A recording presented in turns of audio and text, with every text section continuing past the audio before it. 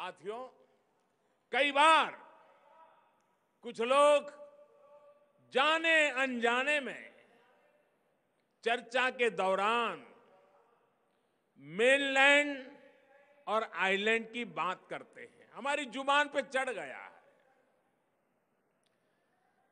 मेरे प्यारे भाइयों, बहनों, मेरे लिए समूचा भारत यहाँ का कण कण, जर्रा जर्रा मेनलैंड है।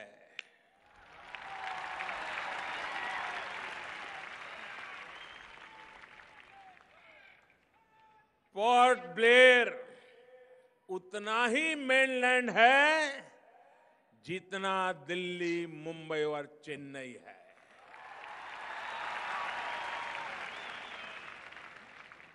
यही कारण है कि हमारी सरकार उन क्षेत्रों में कनेक्टिविटी पर बल दे रही है जो किसी भी वजह से पीछे रह गए थे। देश के फ़िज़िकल और इमोशनल इंटीग्रेशन को और मज़बूत करने का हमारा निश्चय अटल है। भाइयों और बहनों इंटीग्रेशन की ये भावना तब और मज़बूत हो जाती है जब हम इतिहास के अपने नायकों को स्मरण रखते हैं। मैं बार बार ये कहता रहा हूँ कि जो देश अपने वास्तविक नायकों, अपने इतिहास को, अपने सम्मान को नहीं सहज पाता है, वो कभी भी तरक्की नहीं कर सकता है। जो देश अपने इतिहास, विरासत को जितना संभाल लेता है, उसका विकास उतना ही सशक्त होता है। केंद्र सरकार बीते साढ़े चार वर्षों से अपने वैभवशाली इतिहास के हर छोटे से छोटे हिस्से को उभारने का प्रयास कर रही है। उसे देशवासियों के सामने प्रेरणा के तौर पर रखने में जुटी है, क्योंकि इतिहास घटना है तो इतिहास गहना भी है।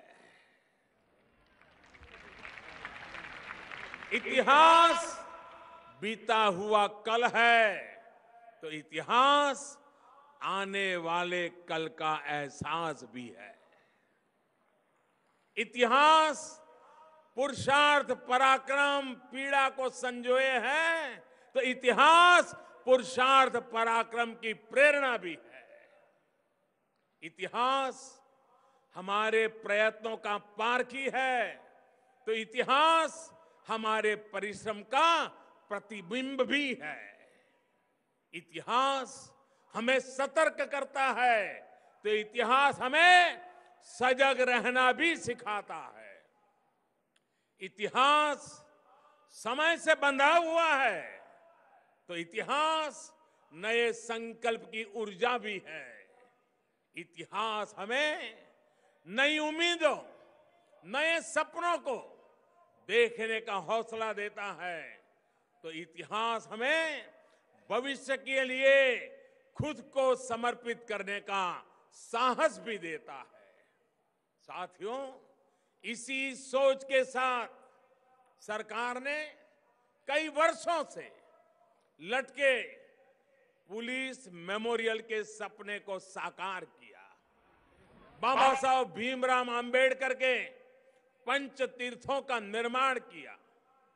राष्ट्रीय एकता और किसान आंदोलन के प्रणेता सरदार वल्लभ भाई पटेल को सम्मान देने के लिए दुनिया की सबसे ऊँची प्रतिमा स्टैच्यू ऑफ़ यूनिटी आज देश को गौरवान्वित कर रही है।